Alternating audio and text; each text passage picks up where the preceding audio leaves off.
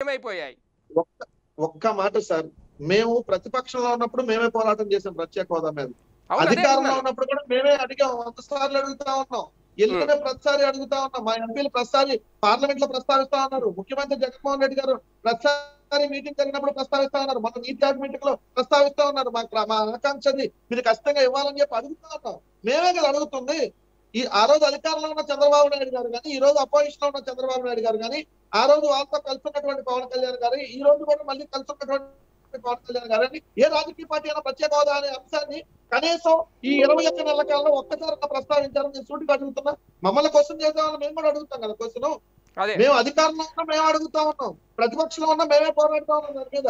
ఈ రోజు ఆ రోజు అధికారంలో ఉన్నా ఈ రోజు ప్రతిపక్షంలో ఉన్నా తెలుగుదేశం పార్టీ కానీ మిగిలిన రాజకీయ పార్టీలు కానీ ఎప్పుడు ఎక్కడా కూడా ఈ అంశాన్ని తీసుకురావడం వల్ల కదా. ఇది మేము ఒక్కలమే పోరాడుతా ఉన్నాం. అదే నేను అనేది. ఇక్కడ నేను అనేది మిమ్మల్ని మీరు అధికారంలో ఉన్నారు కాబట్టి మిమ్మల్ని ప్రశ్నిస్తున్నాం ప్రతిపక్షం మిమ్మల్ని ప్రశ్నిస్తోంది. ఇదే టైంలో కేంద్రాన్ని మీరు ఎందుకు ప్రశ్నించట్లేదు అనేది ఇక్కడ పాయింట్. కేంద్ర ప్రభుత్వంతో ఎప్పుడు కేంద్రాన్ని- ఇంకెప్పుడు చూడు, సాధించుకొస్తారు? కేంద్రాన్ని కేంద్రాన్ని కేంద్రాన్ని ప్రశ్నించట్లేదు అంటానికి అసలు వాళ్ళకి ఎలా ఉంది సార్ అపోజిషన్ అడగడానికి క్వశ్చన్? మేము ఇప్పుడు వరకు ఇరవై ఒక్క నెలల కాలంలో దాదాపుగా ఏడు సార్లు ఎనిమిది సార్లు జగన్మోహన్ రెడ్డి గారు ఢిల్లీ వెళ్ళుంటారు. ఢిల్లీ వెళ్ళిన ప్రతిసారి ఇదే మా అజెండా ఫస్ట్ అజెండా. రెండు మొన్న నీతి ఆయోగ్ మీటింగ్లో కూడా ఇదే అడిగి ఉన్నాం.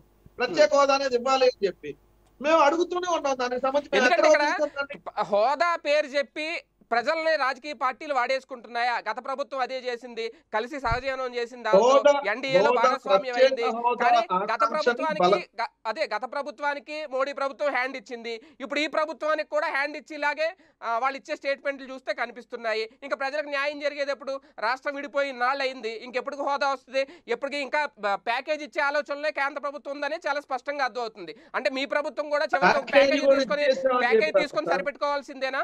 సార్ ఇక్కడ నేను మీకు ప్రధానంగా ఆన్సిస్తా ఇక్కడ పార్టీ పరంగా వైఎస్ఆర్ కాంగ్రెస్ పార్టీ వేరు మేము ఆ రోజు వైఎస్ఆర్ కాంగ్రెస్ పార్టీ తరఫున మేము పోరాడింది వేరు. ఈ. ప్రభుత్వంగా ఆ రోజు ప్ర- ప్రభుత్వం ఇది నేను మీకు వినిపిస్తా. హోదాతో జరిగింది ఏమీ లేదు. రాకపోతే మూడు వేల కోట్లే అని చంద్రబాబు నాయుడు గారు చెప్పిన మాట. హోదా అంటే ఆ. మాట ఎందుకు చెప్తున్నా ఏంటంటే ఒక రెండు వేల పదిహేడులో కూడా మనమే ఎక్కువ సాధించాం. ఏ రాష్ట్రానికి ఇంతకన్నా ఎక్కువగా వచ్చాయా? ప్యాకేజీకి రాజముద్ర వేయండి. ఆ ఇదేంటి ప్రత్యేక హోదా వస్తే ఏమొస్తుంది అని చెప్పి ఇది ప్రభుత్వం మాట్లాడినటువంటి మాటలు. చంద్రబాబు నాయుడు గారు ఆ రోజు ఒక రాజకీయ పార్టీ నాయకుడిగా మాట్లాడాలి అంటే అవును. ప్రభుత్వంగా ప్రభుత్వం ప్రత్యేక హోదా వద్దు అని చెప్పి ఆ రోజు చంద్రబాబు నాయుడు గారి ఆధ్వర్యంలో వాళ్ళు తీర్మానాలు చేసి పంపడం వల్లే ఈ రోజు ఈ స్థితి వచ్చింది అంటా ఉన్నారు. అంటే మళ్ళీ మొదటి నుంచి చెప్పుకోవాల్సిన పరిస్థితి ఎందుకు వచ్చింది? వాళ్ళు అసలు వద్దు అని తీర్మానం చేసి పంపారు. వాళ్ళు మీన్స్ రాష్ట్ర ప్రభుత్వం. అంటే ఆ రోజు ఉన్నటువంటి చంద్రబాబు నాయుడు గారి ప్రభుత్వం. దాన్ని తీర్మానం చేయడం వల్ల వాళ్ళు ప్యాకేజ్ తెచ్చేయామని చెప్పి ప్యాకేజ్ కూడా ఇచ్చేసామని చెప్పి నిన్న కూడా అందుకే- అందుకే కదా సార్ ఇప్పుడు ప్యాకేజ్ తీసుకోవడానికి సిద్ధమైన వాళ్ళని ప్రజలు ఎందుకు పక్కన పెట్టారు? అందుకే కదా పక్కన పెట్టారు. ప్రజలు పక్కన పెట్టి మీకు అధికారం కట్టబెట్టింది ఎందుకు? హోదా తెస్తారనే కదా. మరి ఇప్పుడు ప్రజలు పక్కన పెట్టారా? లేదంటే ప్రజలు దానికి సంబంధించినటువంటి అంశంలో ఎంత వ్యతిరేకతగా ఉన్నారు? ఆ పాయింట్ అర్థమైపోయింది కదా. అంటున్నాను నేను. ప్రజల వ్యతిరేకత అర్థమైపోయింది కదా.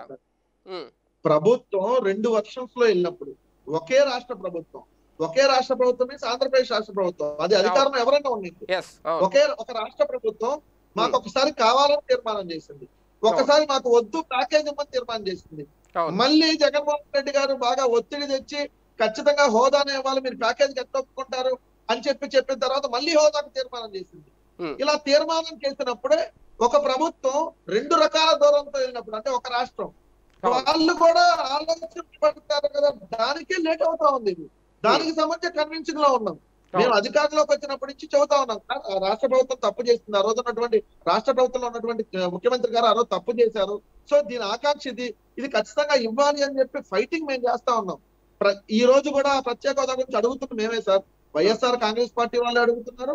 ఆంధ్రప్రదేశ్ రాష్ట్రంలో ఉన్నటువంటి వైఎస్ఆర్ కాంగ్రెస్ పార్టీ ప్రభుత్వం అడుగుతా ఉంది. ఏ రాజకీయ పార్టీలు కూడా దాన్ని అడగట్లా. చంద్రబాబు నాయుడు గారు ఇరవై ఒక్క నెలల కాలంలో మోడీ గారు అంటే ఒకటి ఏ రాజకీయ పార్టీ అడిగిందా లేదా అని పక్కన పెడితే సార్ మీ మీ బాధ్యత అది మీ రెస్పాన్సిబిలిటీ మీరు అడగాలి మీరు హామీ ఇచ్చారు తీసుకొస్తానని తీసుకురావాలి. ఆంధ్రప్రదేశ్ రాష్ట్ర పౌరుడిగా కూడా మనకు బాధ్యత ఉంది. ఆంధ్రప్రదేశ్. రాష్ట్ర పౌరుడిగా మీకు పౌరుడిగా బాధ్యత ఉంది. మీరు యాజ్ ఏ పొలిటికల్. లీడర్గా ఒక పార్టీ నాయకుడిగా మనకు రావాల్సినటువంటి మనకు రావాల్సినటువంటి హక్కు అది. మీరు పోరాడచ్చు నేను పోరాడచ్చు. పోరాడాలి. ప్రభుత్వం పోరాడుతూ ఉంది ప్రభుత్వం అడుగుతూ ఉంది. ప్రభుత్వంలో ఉన్నటువంటి పెద్ద జగన్మోహన్ రెడ్డి గారు అడుగుతూ ఉన్నారు.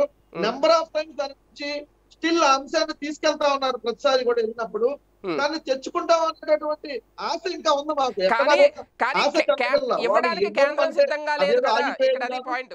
ఇవ్వడానికి కేంద్రం సిద్ధంగా లేదు ప్యాకేజ్ ఇవ్వడానికే సిద్ధంగా ఉంది కేంద్రం. ఇప్పుడు ఫైనల్గా ఈ టాపిక్ కన్క్లూడ్ చేద్దాం వేరే దాంట్లోకి వెళ్దాం. దీని గురించి ఫైనల్గా ఒక విషయం చెప్పండి. కేంద్ర ప్రభుత్వం ప్రత్యేక హోదా ఇవ్వడానికి సిద్ధంగా లేదు. ప్రత్యేక హోదా అవసరం తీసుకురావాల్సిన బాధ్యత రెండు కూడా మీ మీద ఉన్నాయి. ఇటువంటప్పుడు ప్యాకేజ్ మళ్ళీ గత ప్రభుత్వం చేసినట్టు ప్యాకేజ్ తీసుకోవడానికి సిద్ధమా? లేదంటే ప్రత్యేక హోదా మీదే మీ ప్రభుత్వం కట్టుబడి ఉందా? ఇంకోటి కూడా ప్యాకేజ్ కూడా ఇచ్చేసామని చెప్పారు సార్. ఇదే లోకేష్ గారు ఇదే చంద్రబాబు నాయుడు గారు కూడా మనకు ప్యాకేజ్ వచ్చేసిందని చెప్పారు. నిన్న కేంద్రం కూడా ప్యాకేజ్ ఇచ్చేసామని చెప్తా. ఉమ్, వాళ్ళు ఏం చెప్తారో ఏం చెప్పరా సెకండరీ సార్ Hmm. ఖచ్చితంగా ఇదైతే మనం తెచ్చుకోవాల్సినటువంటి అంశమే మేమైతే ఎక్కడ వెనుదిరగలేదు Hmm. అది ఖచ్చితంగా మనకు ఖచ్చితంగా అది మనకు రావాల్సినటువంటి అంశం సో Hmm. ఏంటంటే నాలుగు రోజులు లేట్ అయినా కూడా ప్రత్యేక హోదా అనేది వాళ్ళ మీద ప్రజలు తెచ్చి తెచ్చుకుంటాం వాళ్ళకి Hmm. రాజకీయ అవసరాలు ఉన్నప్పుడు ఖచ్చితంగా కూడా ప్రత్యేక హోదా అనేది వాళ్ళు ఇచ్చితే ఈ రోజు రాజకీయంగా వాళ్ళకి అవసరాలు లేదు కాబట్టి మాకు ఈ రాష్ట్రం అవసరం లేదనే ధోరణిలో వాళ్ళు వెళ్తా ఉన్నారు ఖచ్చితంగా అవసరం ఏర్పడినప్పుడు వాళ్ళకి కానీ మెజారిటీ తగ్గినప్పుడు లేదంటే ఈ రాష్ట్రానికి సంబంధించి అవసరాలు వాళ్ళకి ఏర్పడినప్పుడు ఖచ్చితంగా వాళ్ళు బెడ్ అవ్వాల్సిందే. అది వచ్చి తీరుద్ది. కొన్ని రోజులు వెయిట్ చేయాల్సినటువంటి పరిస్థితి అది నాలుగు నెలలు వెయిట్ చేయాలా లేదంటే ఒక సంవత్సరం వెయిట్ చేయాలనేది వెయిటింగ్ చేయాలి తప్ప ఖచ్చితంగా అయితే ప్రత్యేక హోదా అనేది వచ్చింది. అదైతే ఎక్కడ ముగిసిపోయిన అధ్యాయం కాదు. అది మళ్ళీ తెరుచుకున్నటువంటి అధ్యాయం. ప్రత్యేక హోదా అనేది వచ్చేటటువంటి హండ్రెడ్ పర్సెంట్ అది వచ్చింది. రావడానికి కూడా అది త్వరలోనే అది వచ్చింది. కొన్ని రోజులు వెయిట్ చేయండి. దాని మీద ప్రజలు.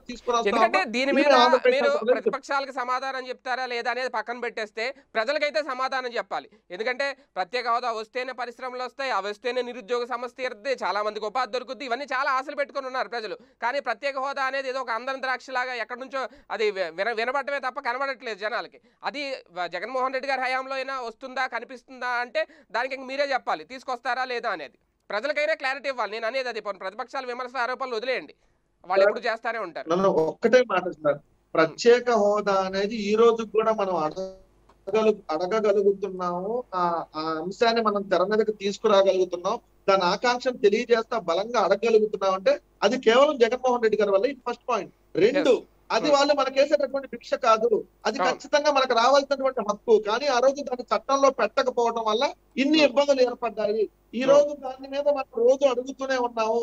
దాని మీద ఎలాంటి ప్రజలు తీసుకురావాలి అలాంటి ప్రజలు తీసుకొని వస్తున్నాం. కాకపోతే వాళ్ళు రాజకీయంగా బలంగా ఉన్నారు కాబట్టి మాకు ఏ రాజకీయ పార్టీతో కానీ ఏ రాష్ట్రంతో కానీ అవసరం లేదు అన్న ధోరణిలో వెళ్తున్నారు కాబట్టి ఈ విధంగా మాట్లాడుతాం అంటే